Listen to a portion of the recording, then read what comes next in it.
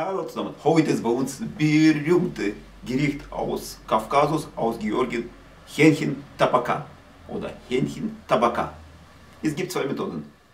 Eine Methode, klassische Methode, Hähnchen wird mit Salz, Pfeffer bestreut, dann zwei Stunden mariniert oder über Nacht mariniert, besser anbraten und dann mit Soße, mit Anjika-Soße drüber gepinselt und dann gegessen. Oder einfach Stückchen von Hähnchen wird abgeschnitten und dann in dieser Soße getaucht und gegessen. Das ist eine Methode. Zweite Methode. Hähnchen wird mariniert mit Anjika-Soße. Und dann auch zwei oder besser wieder über Nacht marinieren lassen. Und dann wird angebraten. Dann haben Sie schon Geschmack von Anjika-Soße mit Hähnchen drin.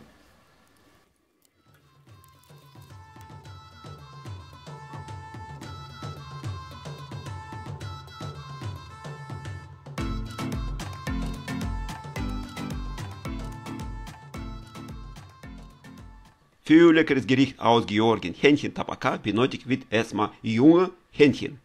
Bis ein Kilogramm, bis ein Kilogramm oder weniger sogar. Die sind einfach perfekt, die sind einfach perfekt. Benötigt wird auch berühmte Soße aus Georgien, Anjika-Soße. Ich mache heute frische und schnelle Anjika-Soße. Eine Dose Tomaten oder Tomatensoße, dann Frisches Grünzeug, Basilikum, Petersilie, ein Viertel von Zitrone, eine Spitzpaprika, rot, grün, spielt keine Rolle, Knoblauch und eine Zwiebel. Olivenöl und eine zerkleinerer. In Georgien für dieses Gericht gibt es extra so eine dicke, schwere Pfanne mit dicke, schwere Deckel. Heißt Tabaka. Ich habe zu Hause nicht, aber ich habe zu Hause Dutch Oven Deckel von FT6 oder FT9 passt hundertprozentig. Über schwere Deckel für dieses Gericht sprechen wir später. Und jetzt über Anjika-Soße. Anjika-Soße besteht meistens aus Tomaten, Paprika, Knoblauch und Peperoni. Manche machen richtig scharf. Ich mache das eigentlich ziemlich mild, weil zu Hause essen bei uns nie so gerne richtig scharfes Zeug. Wie ich das gemacht habe, sehen Sie gleich. Berühmte und leckere Anjika-Sauce kann man natürlich kaufen, aber kann man auch selber kochen. Ganz einfach.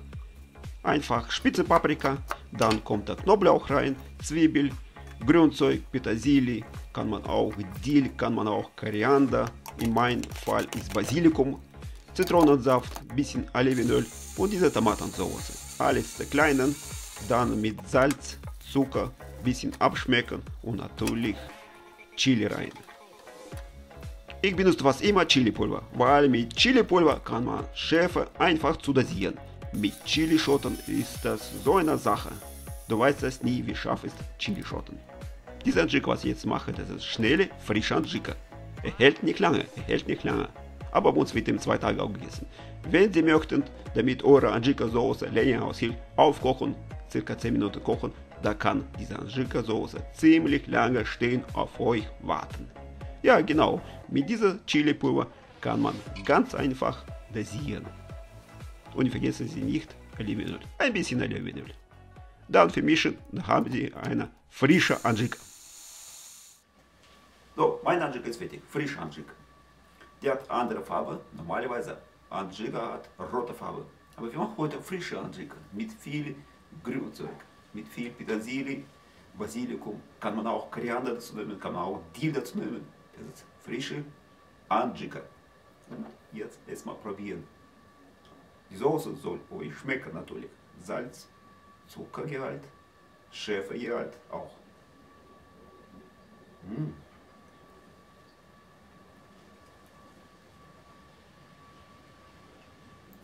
Boah.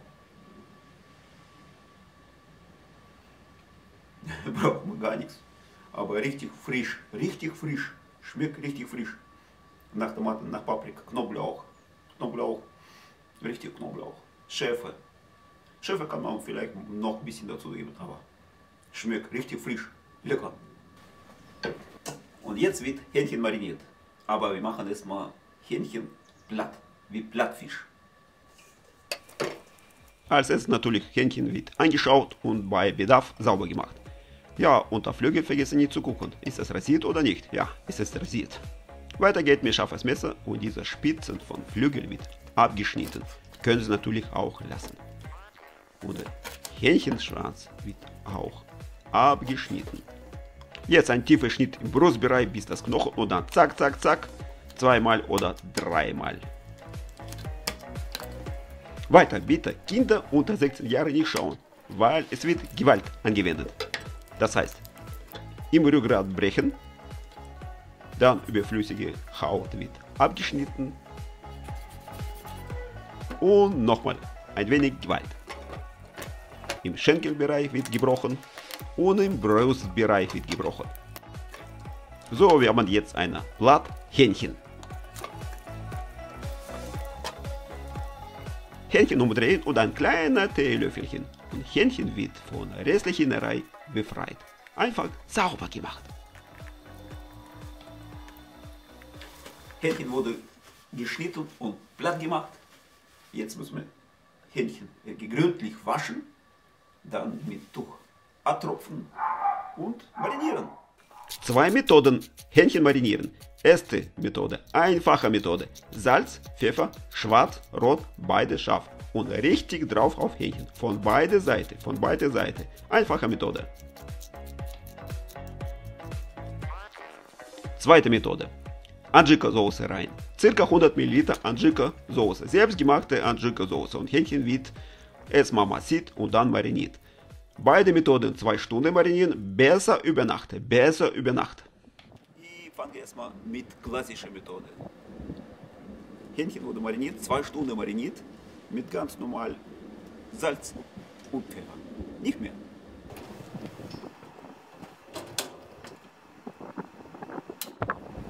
Für Hähnchenbraten brauche ich ein bisschen Öl und Butterschmalz.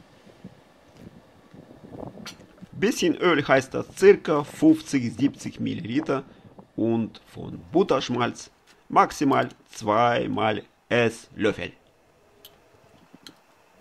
Ein Stückchen von Hähnchenhaut und diese Pfanne wird kontrolliert. Ist das heiß genug oder nicht? Nein, es ist noch nicht heiß genug. Aber jetzt Pfanne heiß genug. Hähnchen mit Haut nach unten, mit Haut nach unten. Ich habe zu Hause kein schweres Deckel für dieses Gericht. Ich nehme einfach einen großen Teller, dann Pflasterstein, dicke, schwere Pflasterstein im Plastikbeutel, damit keiner Dreck über Pfanne kommt. Und einfach so koche ich meine Hähnchen Tabaka. Nach 5 Minuten, ich mache einfach Check. Ich muss das sehen.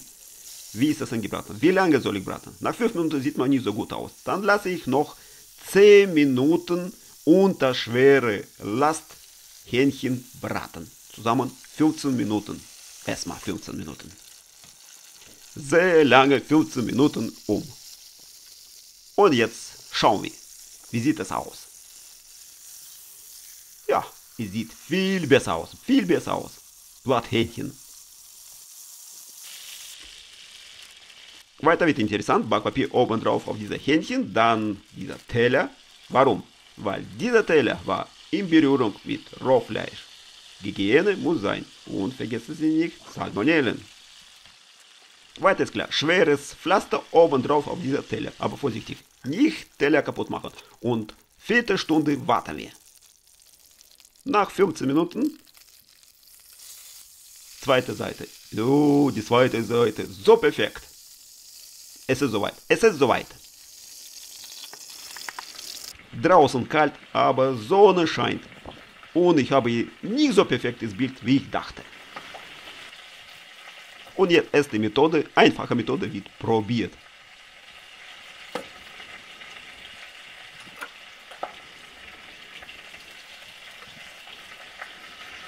Außen knusprig und innen drin weich. Und jetzt Soße. Gebratene Hähnchen schmeckt für mich immer, aber mit dieser Soße ganz anders. Ganz anders. Weil die Soße so frisch und dieser Brust mit dieser Soße mega, mega, mega. Genug gegessen, wir müssen jetzt zweite Hähnchen anbraten. Ja, zweite Hähnchen, welche mariniert wurde mit Ajiko-Soße. Auch erstmal mit Haut nach unten. Dann Teller und dicke Pflaster und 15 Minuten warten wir. Genauso wie die erste Methode. Umdrehen. Sieht sogar ein bisschen besser als die erste Methode, aber ich würde sagen, Farbe kommt von der Jika-Soße. Nochmal 15 Minuten. Zweite Hähnchen läuft. Wenn jemand möchte nachzukochen, ein Tipp für euch. Draußen braten, draußen braten. Sonst stinkt ganze eure Bude, ganze Haus nach Brathähnchen. Ein Tipp für euch. Draußen braten. Nach insgesamt 30 Minuten, zweite Methode, Hähnchen Tabaka ist auch soweit. Und so sieht es aus. Blatthähnchen. Hähnchen Tabaka. Welche wurde mit Adjika-Soße mariniert.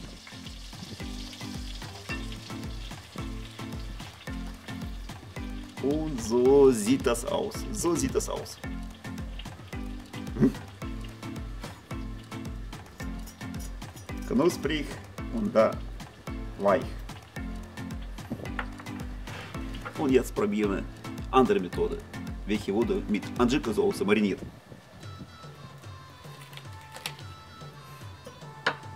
Hm? Erstmal natürlich ohne Anjika-Soße.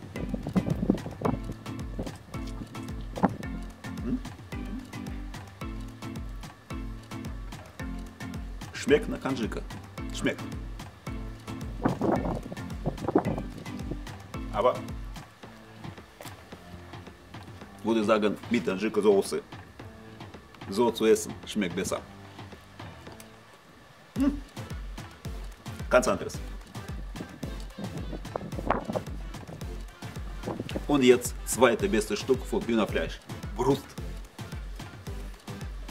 Hm.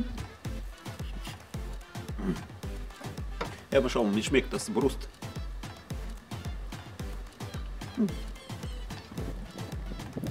Ganz leichter Aroma- Aromageschmack von Adjika-Soße. Aber mit Adjika-Soße schmeckt besser. Hm.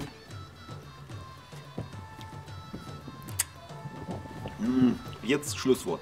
Welche Methode besser? Für mich. Erste Methode. Fleisch ist Fleisch, Soße ist Soße. Fleisch ganz normal marinieren, Hähnchenfleisch marinieren mit ganz normalen Zutaten Salz und Pfeffer, mehr nicht.